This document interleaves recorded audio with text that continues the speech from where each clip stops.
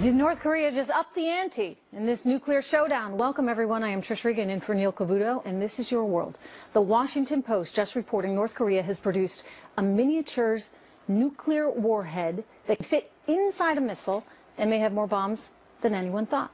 The president just warning North Korea any new threats will be met with, quote, fire and fury like the world has never seen. Lucas Tomlinson is at the Pentagon with the latest for us. Hi, Lucas. Well, hey, Trish. Japanese officials are confirming the details of the Washington Post report. The Pentagon is not commenting, but the results are pretty startling.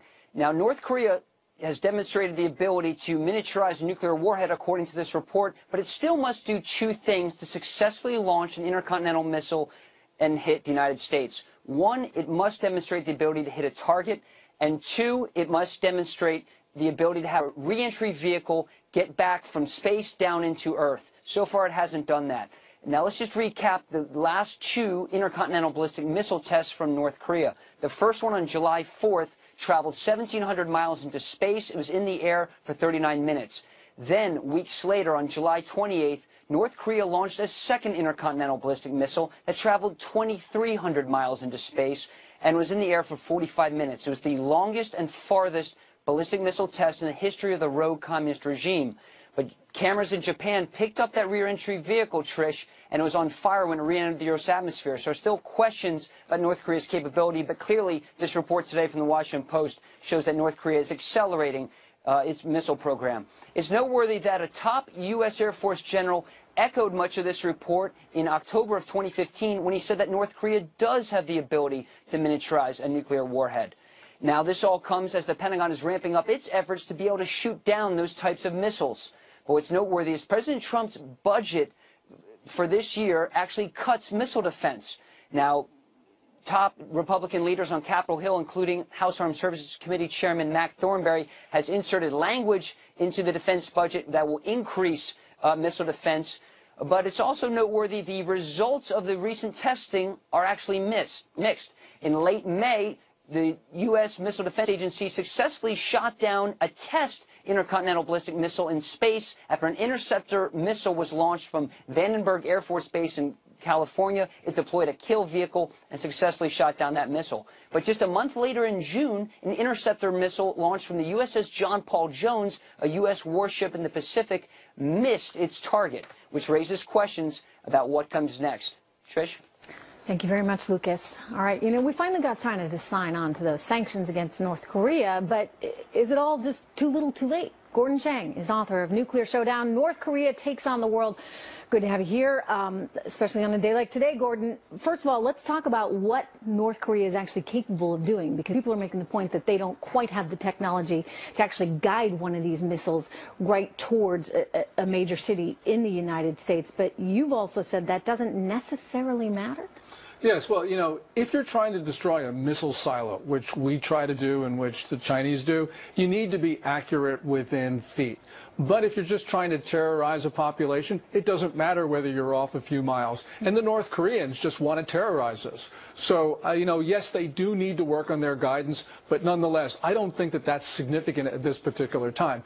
They do have questions about heat shielding. There are disagreements about how successful this last test was on the heat shield, but the North Koreans probably have already had a successful heat shield test. They're well on their way to being able to bring back a weapon from space.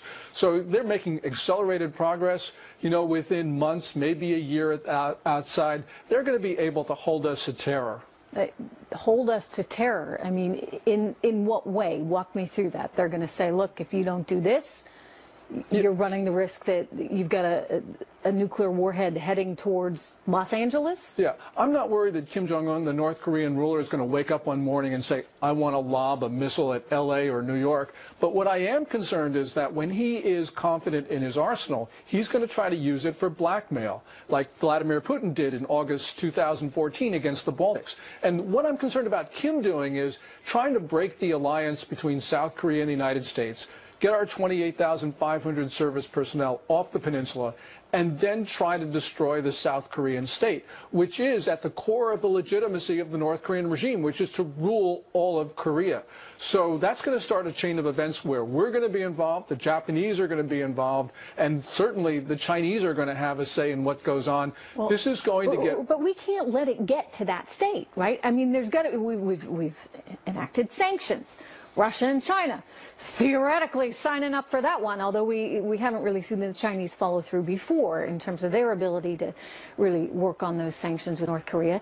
But, it, it, I mean, how are we allowing it to get to the point where they could hit LA or New York? Can't we do something in between? Well, there's a lot that we can do, but American administrations, which have basically failed to deal with this over the course of decades, and they failed for a number of reasons. First of all, sort of dismissing North Korea, but also, you know, we have seen um, presidents really put the integration of China into the international system above disarming North Korea. And because of that, the North Koreans have been able to make a lot of progress as we tried to please the Chinese and keep them happy. This has really been a mistake of, uh, I think, historic importance. But nonetheless, we're at a point where we have not, uh, and this is going to be history looking back at us and saying, how could you let this happen? But we have not been willing to use all the elements of American power to protect the American people. Meaning because we don't want casualties. We don't Well- want anyone getting hurt. Well, because we've had other priorities. You know, we've looked at other things. You know, we were involved in the Middle East. We were much more concerned about the Iranian nuclear Okay, so weapons we had program. bigger problems, bigger issues. This one is allowed to, to, to fester and is now at a point where we have to do something about it. I guess, Gordon, my question is, what do we do about it? Well, I think one of the things we do is is we start to impose costs on China that are so severe that they have no choice but to help us. We have not... So really, this is a showdown with China. This is very much a showdown with China because we're not really worried about North Korea in a sense. You know, they cannot stand up to the international community if they didn't have backing. They have backing from Beijing from all sorts of things, from economics to diplomacy to all sorts of things that the Chinese supply to the North Korean regime Yep. to give it the confidence to mm-hmm. stand up to the United States. If the Chinese weren't doing that, we would have solved this a long time ago. Well, this will be a big test for this administration for sure. Uh, This will be their first Trump crisis. Has promised that he would not allow them to get this capability to actually hit us, and so uh, he's going to have to make a lot of decisions, I would think, uh, him and his team in the next few days. Anyway, Gordon Chang, good to see you. Thank you so much. Uh, we got stocks losing ground here, uh, down 33 after the report that North Korea may have nuclear-ready warheads. But no major sell-off, even as the news hit. So why isn't the market rattled by something like this? Fox Business Network's Charlie Gasparino joins me now. And Charlie, again, I'd point out we did see a little bit of sell-off, but you know, when you hear headlines like this, you anticipate a whole lot more. Yeah, but you know, when you talk to big-time investors, uh, sophisticated investors, they, they sit there and they tell you, listen, we just don't think that North Korea in of itself is going to be, you know, uh, an existential threat to the U.S. economy. And uh, I mean, that's where it is now. Maybe. Maybe they're, they're underplaying it or underestimating uh, Kim Jong Un's uh, ability to cause havoc and to and to uh, wreak terror in the U for the U.S. to uh, to har- harm our, our trading partners like Japan and and South Korea. I mean, obviously, South Korea would not fare well if in a in a nuclear war with North Korea, and uh, you know, and that would definitely have an imp- an economic impact. But just right now, at this point, the, the, Everything the else is looking good, the- and- right? and yeah, and, the- you want right. to ride it as long as you can. I mean, And- it, you got a market that continually, we missed it today, Right. but we were going for 10 straight days in a row of records. Right, and as you know, markets trade off of headlines, and, and today's headline with North Korea was a good time to take some profits, obviously. So, but my point, my bigger point is the markets don't see North Korea as an existential threat, at least right now. Uh, now, the question is, are they underestimating it? Or not, or do they have it? Do they have it just right that you know, if we have to, we'll just wipe them off the face of the earth. I mean, you hear investors talk about this all the time, and uh, you know, we'll just take them out, and that, and that'll be that. They have no way to really impact our economy. I, I kind of think they're underestimating it because if But it's bigger than that, right, though, because it's China. I mean, it- Well, as Gordon and I were just discussing, it, it, it's not just North Korea you're talking about here. You got to get China that's their- on board, and they don't want to play ball. They're invested in, in seeing this kind of chaos uh, uh, and Well, strife not necessarily. I mean, they. I don't believe that. I, I mean, listen. Right now, they're invested in making sure the U.S. does not have does not control the Korean Peninsula. I get that. That's that's why they back up North Korea. It's why they have historically. Uh, but you know, they also are invested invested in the U.S. I mean, they hold our treasuries. They we there's a lot of business that they do with us.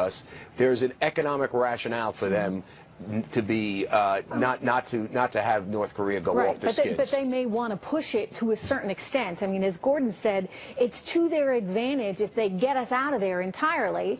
And, and if we start to treat North Korea like a rational player and, and are But scared enough of but them it's that we not, back out. But listen, we'll just see, we'll, we're gonna have to see how it goes. I don't, I don't know. I'm not inside the mind of the Chinese leadership right now, but I will tell you, just common sense. It's in their, and you can ask Gordon this. It's in their economic interest for us not to have a nuclear war with North Korea. It is in their economic interest. Hey, Charlie. They know it, and we know it. Good to see you.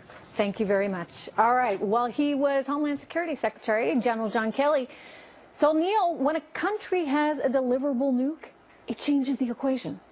So now that he's chief of staff, how can we expect the Trump administration to act on this latest threat? And in wake of new revelations surrounding former Attorney General Loretta Lynch, calls are growing louder for a special prosecutor into her actions. Republican Congressman Jim Jordan leading the charge, and he's here. The markets are always moving. We'll update you on these markets still soaring. Wall Street is into it. not for Russia, this Bill Clinton's tarmac meeting, I remember that one, with former Attorney General Loretta Lynch. This after a slew of emails came out. Uh, we're going right now to Congressman Jim Jordan, who is calling for a special prosecutor for all of this. Uh, but first, Kristin Fisher is in Washington, D.C. with the very latest. Hey, Kristin. Hey, Trish. Well, this is all coming from the American Center for Law and Justice, a group led by one of the president's personal attorneys. You know, it's been digging for documents related to that now infamous meeting on the tarmac between former Attorney General Loretta Lynch and former President Bill Clinton during the campaign. And it found through a Freedom of Information Act request that Lynch had been using an email alias for official emails, including emails related to that very meeting. Now, it's not totally uncommon for cabinet secretaries to use an email alias. Lynch's predecessor, Eric Holder, used one. So did former IRS official Lois Lerner. It's also not illegal, but it does make it more difficult for attorneys and reporters who are trying to get government documents through Freedom of Information Act requests. You could have a situation where the Attorney General conducts emails in secret using this fake address, and then when someone puts in a Freedom of Information request and says, I want the Attorney General's email correspondence, the person who handles that request may not know about the secret account. Now, the chairman of the House Judiciary Committee and his Republican colleagues had already sent a letter to the Attorney General's office urging it to investigate. Quote, the American public has a right to know the facts, all of them, surrounding the election and its aftermath. We urge you to appoint a second special counsel to ensure these troubling unanswered questions are not relegated to the dustbin of history. And so this latest revelation will only add even more fuel and even more urgency to that request, Trish. Hey, Kristin Fisher, thank you very much. Let's get reaction right now from Ohio Republican Congressman Jim Jordan, a member of the House Judiciary Committee. Good to have you here, Congressman. Uh, Good to be with you. you see, you actually like to see a, a special prosecutor in this. You don't. You don't like the idea that Loretta Lynch was out there using an email that wasn't actually her. Well, right. If, if you're just talking about golf, you're just talking about your grandkids, why do you need to use a pseudonym uh, uh, and a special email account? Uh, it's interesting, Trish, that the meeting took place with former President Clinton the day before the Benghazi Select Committee report was due to come out, two days before Secretary Clinton is to be interviewed by the FBI, and we're all supposed to believe it's just coincidence. It just happened, and all they talked about again was golf and grandkids. I, I mean, no one buys that. What? Uh, that to me is a concern, and that's why we've called for a special counsel to look into this as a, and a host of other issues surrounding Mr. Comey and Ms. Lynch. Congressman, there there are some people that feel like, okay, this this is yesterday's news. In other words, she didn't win. Uh, Donald Trump is now president. Let's move on. And i i even Donald Trump himself seemed to, to sound like he didn't want to go after Hillary Clinton It- once he had taken office. Um, but now we're in a situation where they're going after him and it, with the, whole special investigation and, and it kind of feels like in some ways this might be more appropriate given the level of um, vitriol they have directed at him No, it's it, it's not it's not yesterday's news. It's the fact that there's equal treatment under the law, and that was not the, not what Secretary Clinton got. She got special treatment. She got different standard than what I would get. Second, based on Mr. Comey's testimony a few weeks back, where he indicated at the direction of the United States Attorney General, he then, the FBI director, mm-hmm. went out and misled the American people when he called the investigation a matter and not an investigation. As mm-hmm. I said in committee 10 days ago, the last time I checked, he wasn't director of the Federal Bureau of Matters. He's the director of the Federal Bureau of Investigation. So why call it something different? Mm-hmm. Why would the Attorney General instruct the FBI director to mislead the American people? And why would she meet with the president, former president, just days before the secretary is supposed to be interviewed by the FBI? I think the answer is obvious. They wanted Clinton, the Justice Department, the Obama Justice Department, wanted Clinton to win the election. Remember, this all happens in the larger. So it's a different kind of collusion, perhaps. You know, it, Congressman. It, it seems like there are a lot of questions here, a whole lot of questions. And as much as people would like to move on, you know, for the health of the country, and you got a new president, and Hillary Clinton is in the past, I right. hear you in that this kind of stuff cannot be allowed. And so there are there are questions that need to be answered, and there are things that need to be addressed. Of course. Um, in the terms Justice of Department, what's that? Yeah, the Justice Department should not be in the habit of misleading the American public, and that's exactly yeah. what they did and you have to ask the question why. And it seems to me when you ask the question why, it's obvious they were trying to help Clinton win. Yeah, it, it, Congressman, I, I, do have to hand it to her on the on the alias, though. Elizabeth Carlisle has a kind of nice ring to it. Does make it harder for journalists, though, when you're trying to get those emails from Loretta of Lynch, because it turns out you can get all the Loretta Lynch you want, but um, you're going to not get the Elizabeth Carlisle. Uh, yeah. Let me turn to North Korea with you. Obviously, very big story today out of the Washington yeah. Post what what are we going to do here? I mean, this has gotten to the point where we're going to need to do something. And Congressman, I don't know with all those sanctions, even with China on board, are ever going to work. No, I mean, you know, we, we applaud the, the Trump administration and Ambassador Haley for the work that they did on the sanctions. I think that is, is certainly uh, the, the right direction to move. Um, I know that the Trump administration is trying to work with China to exert more pressure on North Korea uh, in, in that, that part of the world. But this is serious. I know that the White House and, and our foreign policy experts are taking it for the very serious matter that it is. Um, you know, we'll, we'll have to wait and see. But let's let's hope that um, this this individual, uh, Gali, who runs who runs North Korea, um, can can tone it down a little bit, and, and um, some of this has a has the kind of impact that we all hope it does. Do you expect that China is actually going to be able to enact any kind of influence here, or uh, is this just sort of ceremonious? I, I, I, mean, we'll see, but I've always thought that uh, the idea that our administration, the Trump administration, engages China and, and urges them to get more involved and, and, to, and to take control of this, uh, you know, exert some influence on North Korea. I've always thought that was a, a smart move and the right move. Uh, again, we'll, we'll just have to see. All right, Congressman, good to have you here. Thank you very much. You bet. Take care. All right, let's uh, talk about that other investigation. Is a grand jury in D.C. going to give President Trump a fair shake? Why Alan Dershowitz has some serious doubts he's here. And later outrage as a voter tells this GOP lawmaker to die in pain. First on Fox that lawmaker. Let's go to New Jersey right now. You're looking at a live picture uh, where uh, members of the administration have been gathered there to address the opioid crisis. We are anticipating that Kellyanne Conway is going to come to that podium momentarily, and we're going to listen for you to see if she has anything to say on North Korea. And if she does, we're going to go straight to it because obviously North Korea, a dominant story today. Again, we're waiting on Kellyanne Conway. Fox News correspondent Laura Ingle is in New Jersey, uh, where uh, all of this is taking place, and uh, some of these meetings just wrapped up uh, between the president uh, and others. Uh, fill us in, Laura. Hi, Trish. Well, indeed, you know, there's been a lot of a lot of excitement earlier today as we were waiting for President Trump to begin this opioid conference, this roundtable meeting. Everybody wanting to know if he was going to have something to say about the situation that has been unfolding today with North Korea. And if body language and tone tells us anything, that was setting the stage for what he was about to say on the issue. Take a listen. North Korea best not make any more threats to the United States. They will be met with fire and fury like the world has never seen. He has been very threatening uh, beyond a normal statement.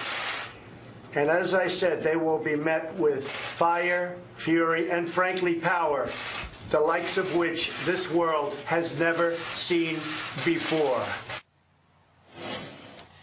And that comment came after a reporter teed up the question for him on North Korea. Then he got down to the business of what he was there to do, to discuss the opioid crisis happening in America. President Trump uh, continued on that, quoting the staggering statistics uh, that has ravaged so many Americans who he described as young, old, rich, poor, and in urban and rural communities, adding it's his greatest responsibility to protect the American people and to secure their safety, especially in some parts of the country. Adding